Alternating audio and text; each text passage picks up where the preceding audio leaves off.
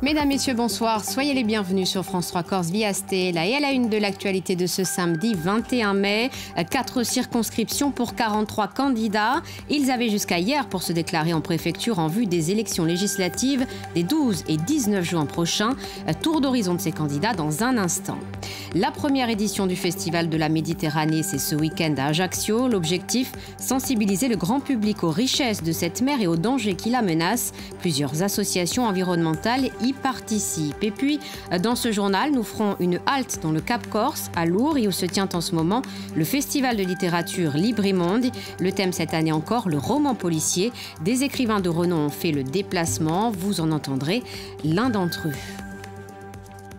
Mais avant de développer ces titres, cette information qui nous est parvenue il y a moins d'une heure, un homme de 45 ans est décédé. Ce dernier aurait été pris pour cible par arme à feu. Les faits se sont déroulés à Aléria. Un homme, l'auteur présumé, s'est rendu à la gendarmerie. Plus d'informations à venir sur notre site internet et dans nos prochaines éditions. En politique, à présent, un peu plus de 20 jours des élections législatives, les différentes stratégies se précisent. Les derniers candidats déclarés ont tous déposé leur dossier en préfecture hier, date limite pour le faire. Encore s'ils seront donc 43 sur la ligne de départ pour quatre circonscriptions. Les détails avec Sylvie Wolinski et Vanessa Coulioli. Toute la semaine et jusqu'à hier soir, les mouvements se sont succédés dans les préfectures de Lille afin d'y déposer officiellement les différentes candidatures aux élections législatives. Qu'ils soient investis ou pas, avec ou sans étiquette, on compte 8 candidats à la députation de plus qu'il y a 5 ans. Ils seront au total 43 cette année, accompagnés de leurs suppléants, à se lancer dans la bataille. Et au niveau des chiffres, le département de la Corse du Sud détient le palmarès, avec 23 inscriptions. 12 dans la première circonscription, la seule où le député sortant, Jean-Jacques Ferrara, a décidé de ne pas se représenter en raison de la candidature surprise de Laurent Marcangeli, fort de son investiture Horizon. Le maire d'Ajaccio bénéficiera du soutien de la majorité présidentielle. Les nationalistes partent eux divisés avec Romain Colonne, soutenu par la majorité territoriale, et Jean-Paul Carolage, soutenu par Corsica Libera et le PNC. À gauche, l'Union populaire n'a pas fonctionné. La France insoumise, le PS, le PC, chacune de ces formations aura son propre candidat. Il en sera de même pour les trois formations d'extrême droite.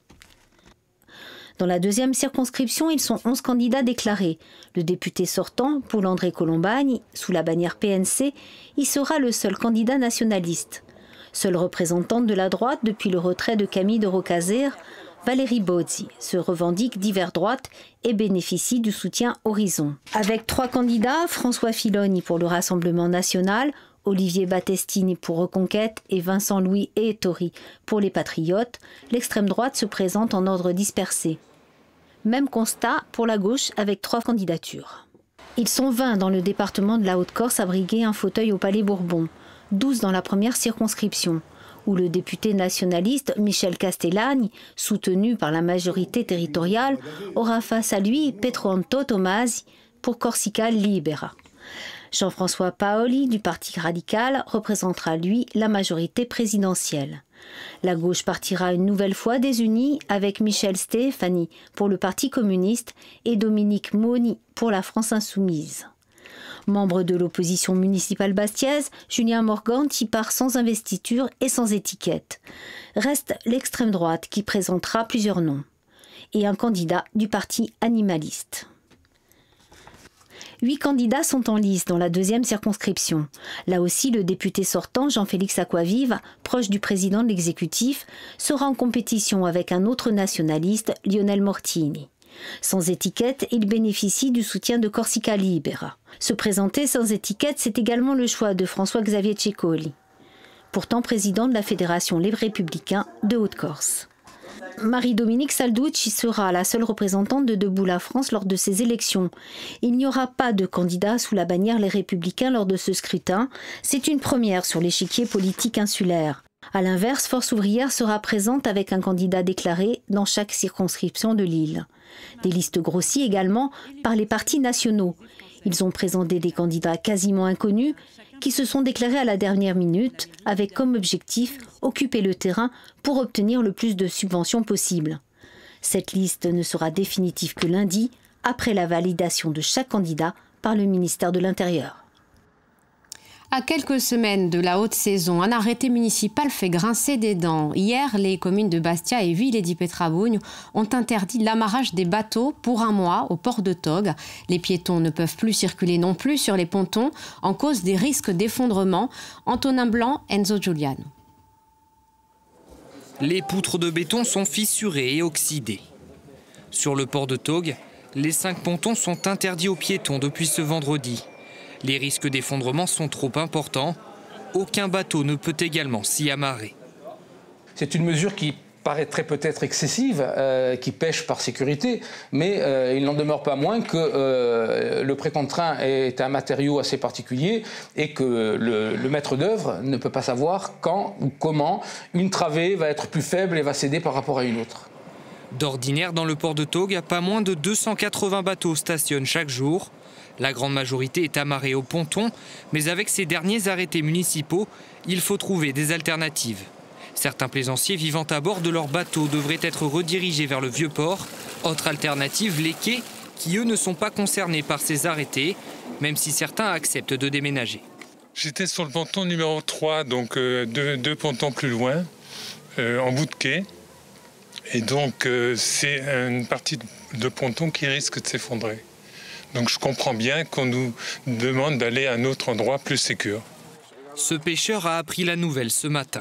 J'espère qu'ils vont faire quelque chose pour nous parce que là, on est mal. Hein. Pendant un mois, il ne pourra plus venir travailler sur le port de Tog. Et pour l'instant, aucune alternative ne lui a été proposée. Il faut que je quitte les lieux, mais pour aller où? Comment faire? Est-ce que je vais pouvoir continuer mon activité? Est-ce que je vais pouvoir garer ma voiture? Est-ce que je vais pouvoir porter mes filets? Je vais les stocker où? Qu'est-ce que je vais faire? Qu'est-ce que je vais devenir? Le vieux port de Bastia est soi-disant complet. Comment on va faire? Je ne sais pas. À quelques semaines de la saison estivale, les commerçants s'inquiètent aussi pour leur activité. Déjà que ce port, c'était un état de non-droit au départ. Maintenant, ça a l'air de, la structure a repris. Euh, il, est bien, il a bien été remis en état. Et maintenant, c'est le plan d'eau qui fait défaut. Donc, euh, on ne va pas s'en sortir si ça continue. Il y a beaucoup de gens qui venaient manger. Et s'ils ne peuvent plus venir sur les pantons, euh, voilà, ça va faire manque à gagner.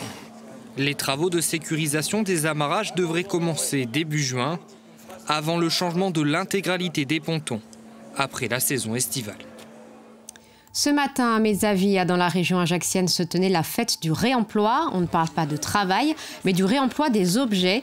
Différents ateliers étaient organisés pour initier les gens aux bonnes pratiques en matière de recyclage.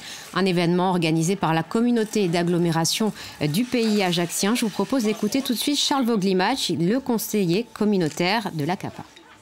L'objectif d'abord c'est de permettre à la population d'être euh, directement en contact avec les diverses associations qui sont dans le domaine du recyclage.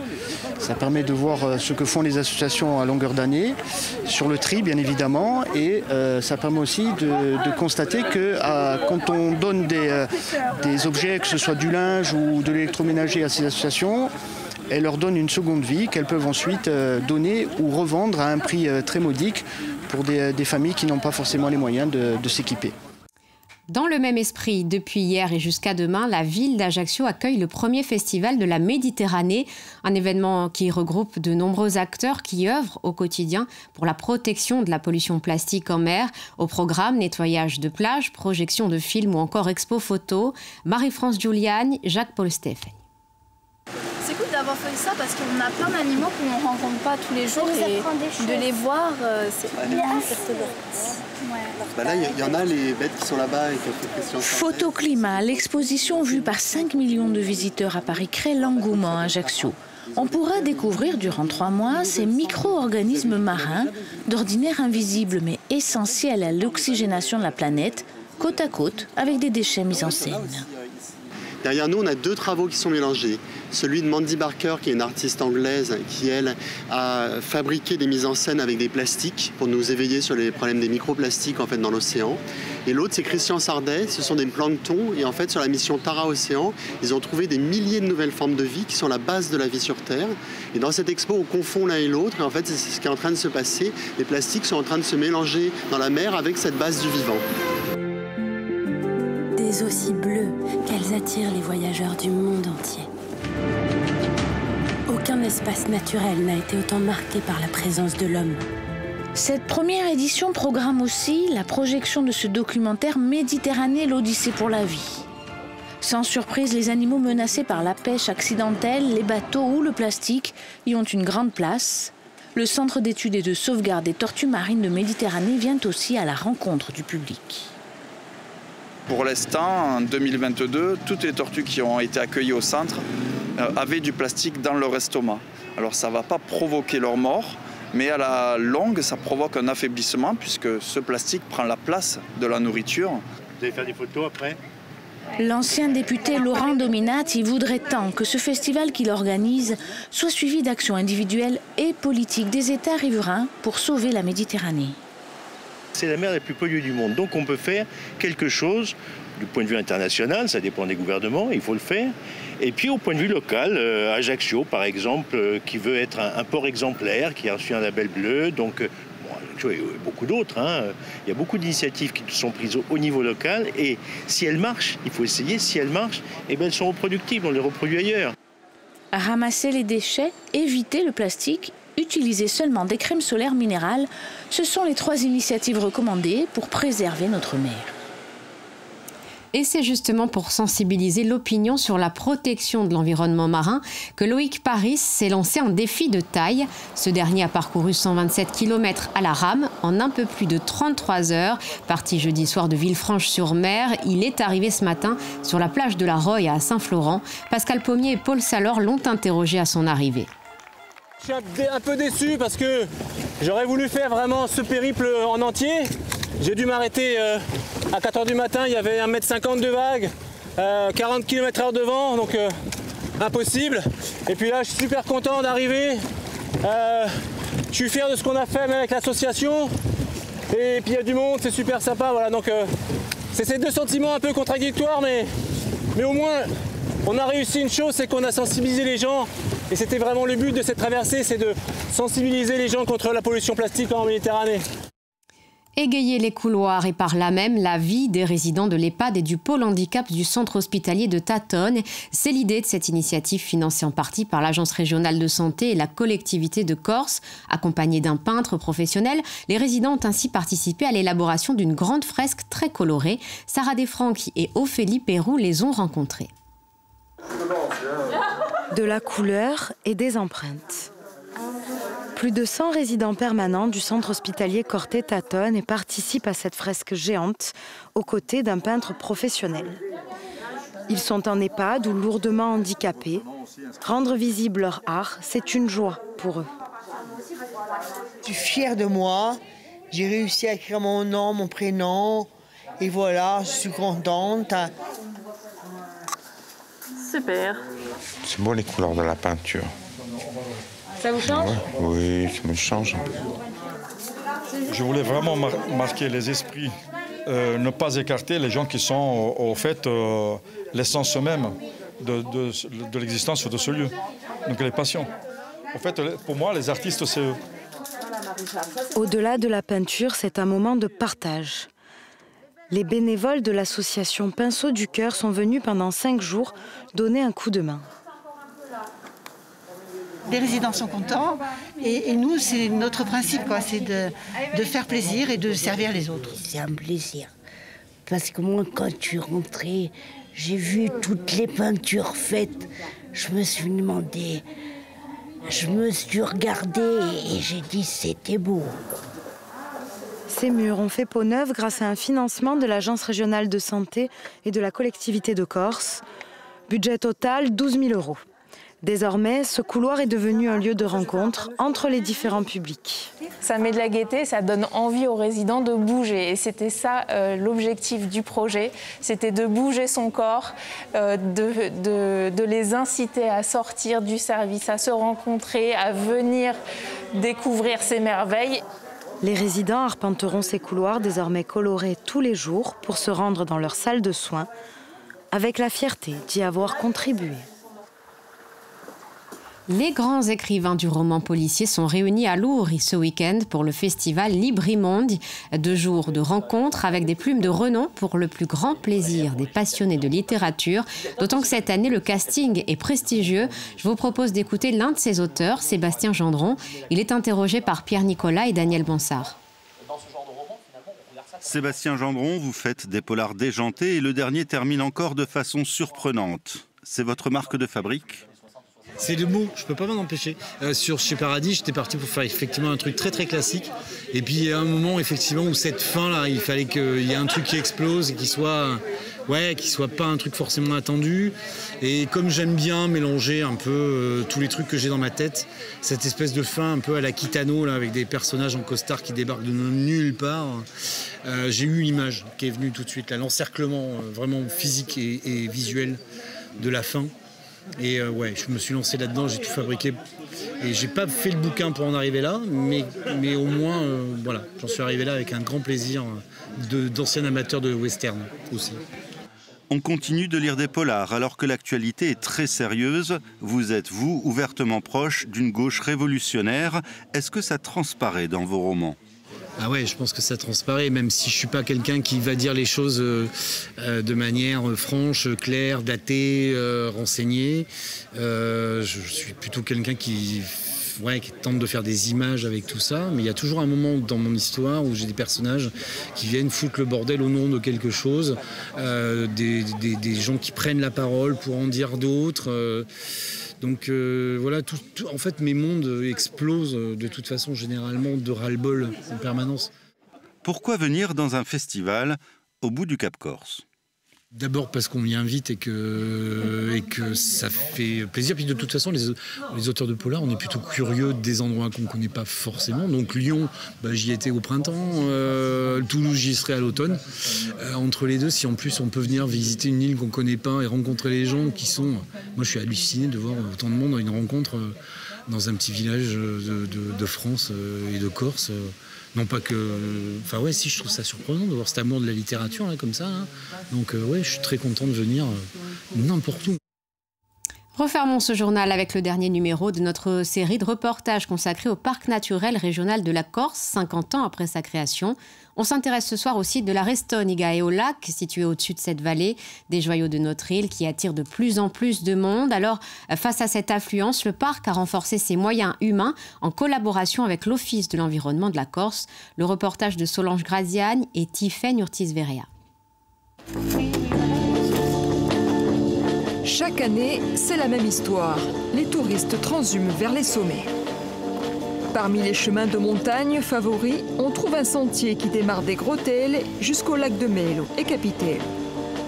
Cet espace fait partie de la réserve naturelle du Mont Territombe, créée en 2017 par l'Assemblée de Corse.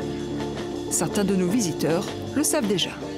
Oui, c'est une bonne chose parce que c'est un site qui est magnifique, naturel et qu'il faut protéger. Étant randonneur, euh, j'ai à cœur que la nature soit, reste en bon état. Selon les chiffres de l'Office de l'environnement de la Corse, 50 000 personnes sont passées ici entre le 1er août et le 31 octobre 2019, avec un pic de 1400 randonneurs certains jours. La création de cette réserve est donc amplement justifiée. Encore faut-il le faire savoir. Alors déjà, est-ce que vous êtes euh, au courant que vous êtes dans une réserve naturelle? Oui, tout à fait. Euh, Pierre-Jean Albertini, la sentinelle de cette réserve, nous explique sa spécificité. C'est la première en milieu montagnard, donc forcément on a une réglementation assez différente des autres réserves naturelles de Corse qui seront plus sur le milieu marin au littoral, euh, avec principalement une interdiction phare qui est l'interdiction de baignade sur les lacs, suite à des analyses qui montraient une dégradation de la qualité de l'eau en fin de saison. Et pour surveiller tout ce petit monde, l'Office de l'environnement et le Parc naturel régional de la Corse mutualisent leurs moyens pour assurer la surveillance et informer le public. La présence euh, d'amphibiens et, d'insectes qu'on ne retrouve que dans ces lacs, euh, et donc des espèces qui sont uniques au monde. Ces patrouilles sur la réserve sont indispensables car le matériel des randonneurs fait aussi défaut. N'avez pas l'impression d'être un peu sous-équipé? Oui, d'habitude j'ai de grosses chaussures, mais je restais dans le camping-car, donc euh, je ne les ai pas ici. Voilà, hein, non, non, mais je reconnais. Hein. Alors faites attention à vous quand même. Hein. Ben, écoutez, on fait le maximum. on n'est pas venu pour se faire mal, on est venu pour prendre du plaisir. Il y a deux, types de comportements qui sont dérangeants sur la réserve. Donc le premier, c'est le défaut d'équipement, des chaussures légères, des sandales, des chaussures ouvertes, tout ce qui est normalement proscrit en, montagne. Hein. On a aussi des gens qui prennent peu ou pas en compte la météo, même quand c'est visiblement dégradé. Hein. Bonjour, Parc naturel régional de Corse. Office de l'environnement de la Corse. Mais leur principale mission, c'est d'éviter les comportements néfastes au milieu naturel. Ne pas bivouaquer, ne pas faire de feu, ramener ses déchets avec soi. Le plus important, c'est d'avoir une présence. Parce que les gens, en plus, sont très demandeurs d'informations sur la faune, sur la flore, sur les sentiers, sur des boucles de randonnée. Je pense que vraiment sensibiliser les randonneurs à préserver la biodiversité, c'est vraiment le plus important. Afin de mieux protéger ce site, une enquête est menée sur trois ans pour connaître avec exactitude l'affluence du public. Alors du coup, quel âge avez-vous? 69. Euh, des compteurs enterrés sur le sentier enregistrent le nombre de marcheurs tous les jours. Preuve que nos milieux naturels sont devenus des domaines sensibles, ces statistiques sont pour le moment tenues secrètes. Elles restent entre les mains de l'Office de l'environnement et du parc régional jusqu'à ce jour. C'est la fin de ce Corsica Zera. Merci beaucoup de l'avoir suivi. Prochain point sur l'information demain à midi. Bonne